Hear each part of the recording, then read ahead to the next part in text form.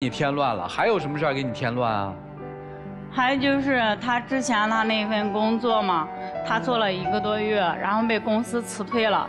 他跟他父母说，是因为给我打视频的原因，把工作给搞丢了。那确实是有一次，我给你开视频的时候，公司领导看见了呀。而且公但是司就是明确规定上班时间不能玩手机的。但是我印象当中，我没有在你工作期间给你打过视频。个不重要，这个不重要。重要的是你为什么跟你爸妈说是因为他的原因？明明知道他们不喜欢他，核心在这儿。为什么？你你想跟他好吗？想，那你为什么做的都是反向举动呢？但是我也就没想那么多。如果我那样说的话，我那你不是等于把他给卖了？吗？我就感觉嘛，主持人，他把所有的责任都行了，往我这个我我觉得，我觉得其实到这个时候，理性的话就应该分手嘛。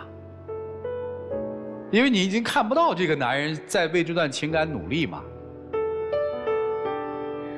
就是因为这些事情嘛，也是想要分手的，但是他不想分，他说我是真心想跟你在一起的。那你干嘛老做这些小动作啊？分了吗？我们中间的话是分了一次，谁提出的分？他提出来了，原因是就是家里面反对的比较严重嘛。怎么反对的？但是我妈妈就是说，啊、你选择我还是选择他？但是我就是说我两边都要。然后我妈就给他发信息，发了一些比较难听的话。然后呢？后面就是他们一直给我施压嘛，是怎么施压？你不得面对这些都事儿吗？闹到公司去了，闹到谁公司？啊就我们上班的那里。所以迫于这压力分手了是吧？你提的是吧？你同意了吗？我当时同意了，分手之后分了几天啊？他给我发那个信息的时候，我看到信息我就哎呀，这个男人不是你的全世界，你不要这样好不好？我自己想了想了一下，自己也冷静的时候想了一下，他这么没有责任心，不是你别给人扣帽子，谈不上责任心。你就分手没分手？分了分了有几天，分了几天？谁提出来的和？他你就和了？刚开始我也没有答应，他说我觉得这几天没有你的日子里，我觉得特别的痛苦，他就说我已经习惯有你了我，看是你痛苦吧？他就跟我说这些，当时我也很纠结，我就想着既然分了，你干嘛，你还要来要找我复合？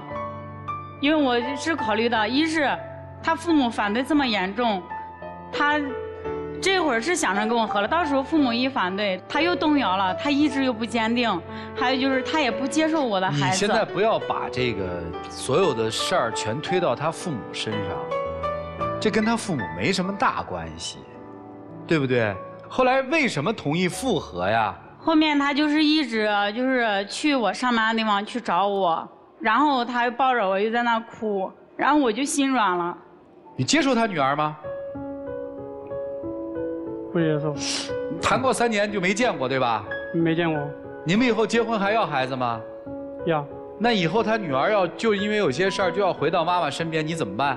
在一起生活的话，我觉得是没有必要的。如果说就是人家就得在一起生活，是没有必要非非一定在一起生活呀。所以你还聊什么呀？没什么好聊的了，还在那儿哭，跟他爸妈有什么关系啊？是他不坚定，他没想娶你，他没做好准备。你自己是什么主意啊？因为我就觉得跟他在一起，确实也是真心喜欢，而且在一起也挺不容易。第一年是异地恋，第二年就行了，我不听了，别强化了，别再给自己强化了。哎，你怎么一直不说话？你什么意思呀？这感情是他一个人的事儿是吧？不是，是你们俩的事儿吗？对，你想娶她吗？想，但是我就是接受不了小孩子跟我们一起生活。那就是放手啊！但是毕竟咱俩三年的感情呢，我也挺珍惜这份感情的。，孩子不跟你们过，你能把人明媒正娶的回家吗？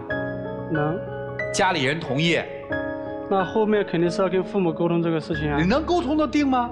能，你现在打电话给你家里，手机没带。我我可以让他们拿手机给你啊。你敢跟你爸妈说吗？你敢跟他说我非他不娶吗？这不 很简单的事儿嘛。